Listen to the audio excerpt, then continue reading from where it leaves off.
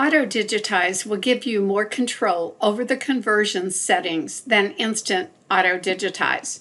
Insert the image you want to use and then resize and crop the artwork if necessary. You may resize the image by using the corner resizing handles or by a specific amount by using the transform toolbar or by a specific percentage. Swipe across the value, enter the value you want to use, and press enter to make the change. Click on Auto Digitize. The Prepare Bitmap dialog box will appear. This dialog box shows the original image and the processed image and gives the number of colors in both the original as well as what the software suggests to use for processing. If you need to identify the location of a color, select the color chip on the right and click and hold on Locate. It will show you the part of the image that uses this color. You can select colors that you wish to merge. Hold the Control key down and select two or more colors and then click on Merge. The colors are then combined in the processed image. Combine any additional colors that you wish to combine by holding the Control key down, selecting the colors, and clicking on Merge. After reducing the colors, click OK. The Auto Digitize dialog box opens.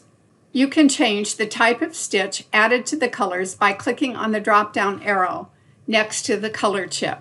You have choices of fill, detail, or omit. Fill will add a step or satin fill depending on the size of the object. Details will be an outline. Notice that the white background is automatically omitted, but you can also omit any other color that you wish to omit. You can also locate a color in this dialog box by selecting the color and clicking on Locate. You can select a color and change the sequence by clicking on Move Up or Move Down. If you wish to change the matching method, you can. The three choices that are available in the Auto Digitize dialog box are the same as those in the color matching method in the Auto Digitize toolbox. To add outlines, place a check mark by outlines and choose the color that you wish to add.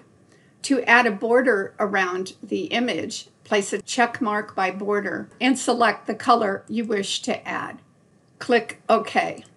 Once again, Pull compensation is automatically adjusted for objects that need to be changed. You can edit the design in any way you wish and send the design to the machine for stitching.